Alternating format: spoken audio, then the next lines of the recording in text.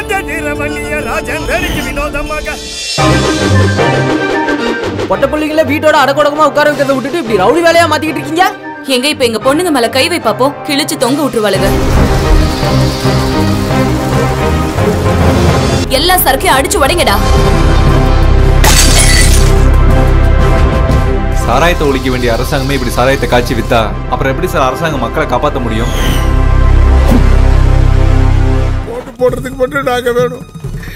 இதை தடவை வாங்க போட்டு போகிறோம்